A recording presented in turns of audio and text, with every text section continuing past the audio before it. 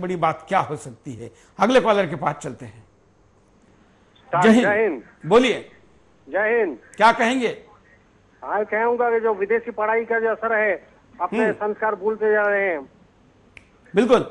हाँ। जय हिंद। हाँ ये जो विदेशी पढ़ाई के हिसाब में अपने विदेश नीति भूल रहे हैं अपने संस्कार छोड़ रहे हैं। धन्यवाद। एक और कविता हमारे सामने आई है, वो भी हम आपको बताएँगे, यहाँ पर दिखाएँगे, लेकिन हमारे पास फेसबुक पर भी कई प्रतिक्रिया आने लगी है, वो प्रतिक्रिया भी हम आपके सामने लेकर आ रहे हैं। साथ साथ में आप स्क्रीन पर कुछ आंकड़े, कुछ कार्टून वो भी हम आपको दिखा रहे हैं। और ये कार्टून के साथ साथ ये कविता के कुछ शब्द है कि माँ के माथे की रौनक मेरे नाम के सरताज है पिता। बाज़ार में हर चीज़ अपने, अपनी लगे जब संग है पिता। अपने गुलशन में भारे सजा मुझ फूल को महकाया है, ज़िंदगी के कांटों पर सख्त, पर मेरे लिए नाजुक वो है पिता। आप एहसास है, संवेदना है, गालों पर पप्पी है पिता। मेरे शरारतों में अपने, अपना बचपन देख मुस्कुराते है पिता। माँ फिर भी रो देती है, पर बेटे के सामने ना रो सके। वो है पिता, वो है पिता। अगले कॉलर के पास चलते हैं। आप भी कॉल करके अपनी बात को रख सकते हैं। अपने पिता को आज याद करके कुछ दुनिया को इसका मार्गदर्शन कर सकते हैं। जय हिंद। सर जी मैं प्रमोद कुमार बोल रहा हूँ कानपुर से। बोलिए। सर जी एनपीएस वालों का जो न्यू पेंशन स्कीम 2004 की सरकार ने बंद कर रखी सर इस पर कुछ कोई विचार विमर्श नहीं हो रहा सर। हम लोग आगे चल के हमारे बच्चों की शादी ब्याह करना है तो सर पैसे से कहाँ से आएँगे सर? हम्म। इसके लिए सरकार कुछ मतलब वो नहीं कर रही। बिल्कुल। सर 2004 से पेंशन बंद है सर। बिल्कुल। हम आपको यहाँ पर कुछ फिल्मी शॉट भी आज दिखाने वाले हैं। उनमें से एक ये आपके सामने। जमाना बदल गया है। ज़िंदगी बदल गई है। हमारी उम्र के लोग याद करें, कैसे बेकार के रिश्तों और बंधनों में उलझे रहते थे हम लोग। बाप के चेहरे में ईश्वर देखते थे हम। माँ के चरणों में स्वर्ग दिखाई देता था।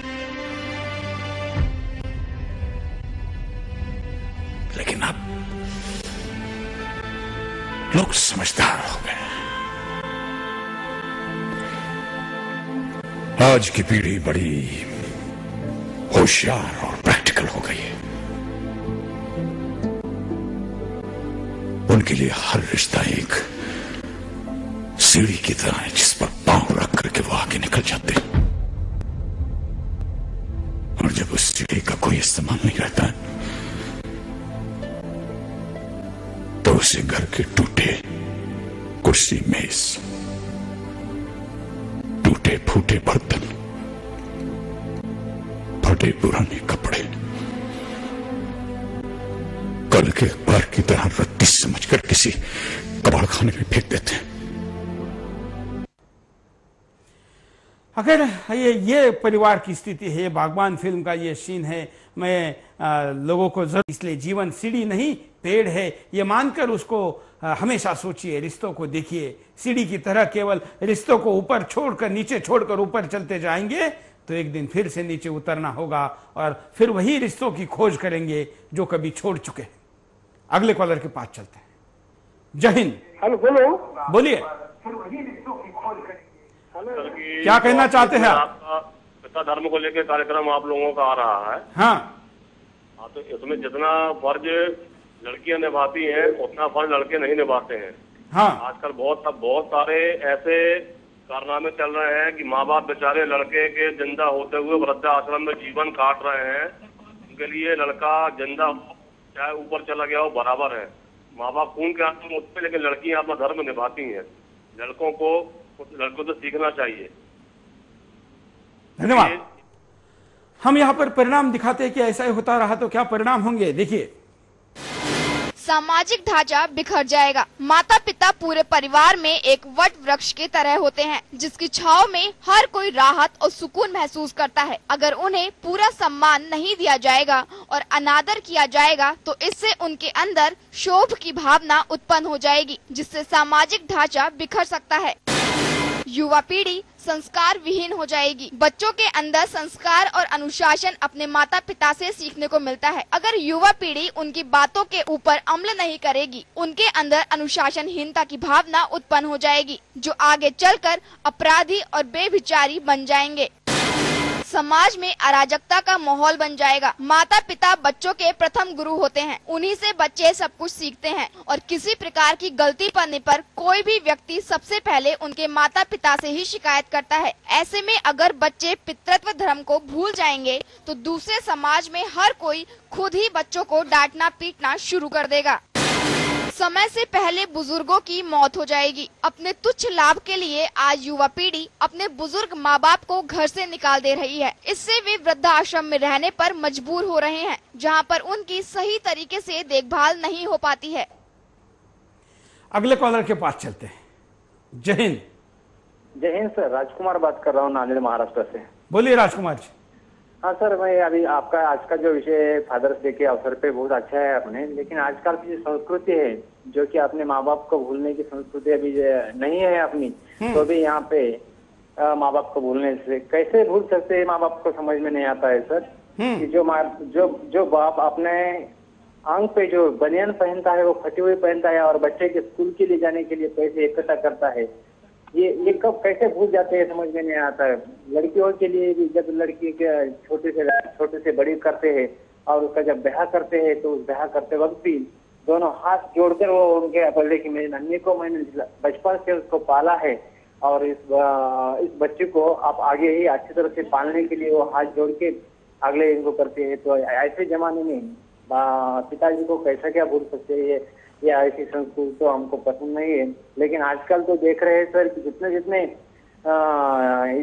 शिक्षण लेके जितना बड़ा हो जाते हैं, जब ब्याह कर लेते हैं तो माँ बाप को ऐसा समझने लगता है कि वो माँ बाप एक बोझ बन गए तो एक मैं अभी सभी सभी जो बच्चे हैं, उनको एक मैं संदेश देना चाहता हूँ कि अपनी कमाई कितनी भी हो लेकिन अपने माँ बाप ने अपन को छोटे से बड़ा किया है तो उनका आदर करना चाहिए, सम्मान करना चाहिए। धन्यवाद। बड़ी अच्छी बात आपने कही। अगले कॉलर के पास चलते हैं। जय हिंद। बोलिए क्या कहना चाहते हैं आप? सर। मैं ये बोलना चाहता हूँ आप जितने मुद्दे उठाते हैं। हाँ। अरे।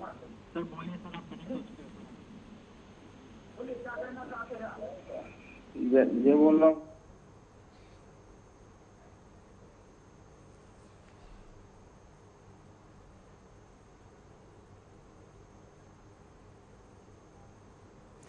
अगले कॉलर से बात करते हैं।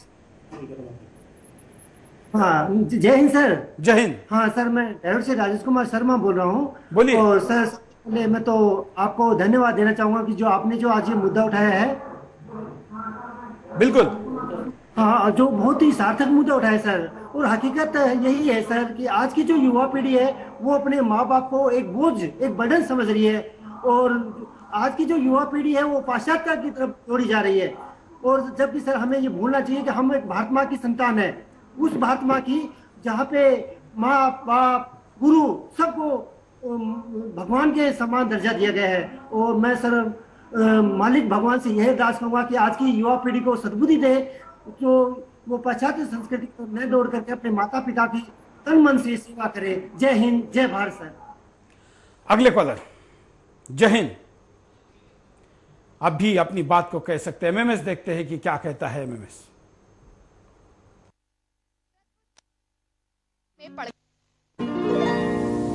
बहुत अच्छा लगता है। कभी कभी मौके मिलते हैं बच्चों के साथ एंजॉय करने। आज संडे भी है तो बहुत अच्छी बात है। निकल गए सब लोग एंजॉय कर रहे हैं यहाँ पे। मौसम भी अच्छा है बच्चों के साथ आया इससे बढ़िया फैमिली एंजॉय कर रही है इससे बढ़िया कुछ नहीं है। एक और फिल्मी शॉट आपको दिखाते हैं कि क्या कहता है। क्या? अरे इस तरह से मेरी तरफ़ क्या देख रहे हो? हम दोनों तो पहले से ही परेशान हैं। एक बड़े शहर में इतनी महँगाई में रहना तुम लोग तो जानते हो ना? और तीन चार साल में बेटी की शादी होने वाली है उसका क्या होगा? वाकई it's it's just not possible भैया मैं तो डेफिनेटली मॉम डैड को अपने साथ ले जाता। लेकिन टीना भी काम पे जाती है और फिर नहीं रे बाबा पहले जाके ऑफ़िस में पिसो उसके बाद में घर आके सास ससुर के नखरे सहो। मुझसे नहीं होगा। भाई मैंने तो अभी अभी अपनी ज़िंदगी शुरू की है। वैसे भी मेरी हालत पतली है। हर 11 महीने में मुझे घर बदलना पड़ रहा है।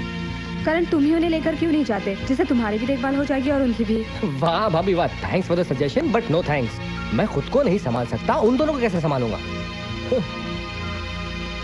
ये बच्चों ने बड़ी देर लगा दी अपना फैसला सुनाने में। ज़रूर उन लोगों में झगड़ा हो रहा होगा कि कौन पहले हमें अपने घर ले जाएगा। हाँ ये हो सकता है।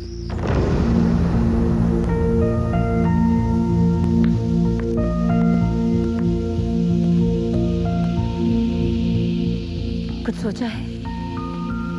क्या करना है? करना क्या है किरण? मॉम और डैड को अपने साथ लेकर जाना होगा। यहाँ पर उनका कौन है? देखो अजय। बरसों से हम लोग अपनी लाइफस्टाइल जीते आ रहे हैं। अब अब अचानक नई शुरुआत करना कोई मज़ाक है? एक मिनट एक मिनट।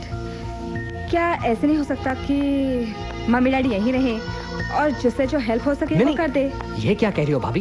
डैड और हेल्प ही नेवर एक्सेप्ट एक आइडिया है। ऐसा करते हैं कि भैया आप मम्मी को अपने साथ ले जाएँ और मैं पापा को ले जाऊँगा। फिर छह महीने बाद पापा रोहित यहाँ चले जाएँगे और मम्मी करण के यहाँ। इस तरह वो हम सबके साथ रह भी पाएँगे और किसी पे ज़्यादा बर्डन भी नहीं पड़ेगा। क्यों? कैसा लगा आइडिया एकदम फ्लॉप आइडिया भैया। आप लोग अच्छी तरह से जानते हैं कि मॉम और डैड एक दूसरे से अलग होने के लिए बिल्कुल राज़ी नहीं होंगे। यही तो मेरे हस्बैंड के आइडिया का मेन पंच है। ना ही मम्मी पापा एक दूसरे से अलग रहने को राज़ी होंगे ना हमारे साथ आके रहेंगे। बात वहीं की वहीं खत्म एग्जैक्टली वेरी गुड वो अपने घर पे खुश और हम अपने ये देखिए कि बच्चे जब बाप की आ, अपने पालने की या उनको अपने साथ रखने की नौबत आती है तो क्या कितनी देर में फैसला सुनाते और फैसला भी ऐसा जो षड्यंत्र के तहत उनको अपना निर्णय बदलने के लिए मजबूर करे? या या ऐसे आज के परिवार की स्थिति हो गई है? या आज की पीढ़ी इस प्रकार से सोचने लगी है? एक माँ बाप मिलकर दस दस बच्चों को पालते हैं लेकिन दस बच्चे मिलके एक माँ बाप को क्यों नहीं? यह आज का सवाल है। कॉलर के पास चलते हैं। हम जय हिंद। पांडे झांसी से हाँ, जय हिंद हम संगीता पांडे झांसी से बोल रहे हैं। बोलिए। पितृत्व धर्म तो को युवा भूल चुके हैं ये सच है लेकिन इन सबके पीछे युवा जिम्मेदार नहीं है। इसके लिए जिम्मेदार हम माता पिता है। जब समय होता है आँगन में संस्कार देने का तब माताएँ तीन वर्ष की उम्र में बच्चों को स्कूल भेज कर खुद सिटी चली जाती हैं या किसी और अन्य कार्य में बिज़ी हो जाती हैं। जब बड़े अपने पेरेंट्स को इग्नोर कर क्लास जाएँगे स्कूल में परम आदरणीय भीष्म पितामह और कुमार को बताया नहीं जाएगा। तो कहाँ से सीखेगा सीखेगा ये युवा पितृत्व हमारा बच्चा? हम्म। धन्यवाद। धन्यवाद। अगले कॉलर के पास चलते हैं। जय हिंद। बोलिए। हेलो सर नमस्कार। नमस्कार। सर आप चैनल पे आप इतना लाइव दिखाते हो। सर आपके ऊपर कोई भी एक्शन नहीं उठाता। इसकी चिंता मत करिए। ये सब कुछ सोच के आते हैं। सर ऐसी है कि बिल्कुल आप लाभ दिखाते हो एकदम क्लियर दिखाते हो आप। हम्म। तो आपके ऊपर कोई तो कोई एक्शन उठाता हो बीजेपी कांग्रेस की सरकार है दिल्ली में सच को कभी आँच नहीं होती। ना चिंता मत करिए सच प्रताड़ित हो सकता है पराजित नहीं होता। संघर्ष करने के लिए ये चीज़ों का परिणाम क्या होगा, ये सोचकर आगे नहीं बढ़ना होता। संघर्ष के बाद यश का परिणाम क्या होता है, इसको देखकर आगे चलना होता है। और इसलिए सच के लिए कभी सच बोलने, इसलिए कभी डरना नहीं। और जब राष्ट्रवाद के लिए हमने आवाज़ बुलंद की है, केवल चैनल नहीं, देश नंबर एक बनाने का मिशन लेकर आगे बढ़े है तो वो साथ देता है। ये बिज़नेस नहीं, मिशन है, ये मानकर हम इसको करते हैं। धन्यवाद आपने ये सवाल अपने आत्मीयता के साथ हमको पूछा इसके लिए, लेकिन आप सबका शुभ आशीर्वाद है कि हम सही दिशा में जा रहे हैं।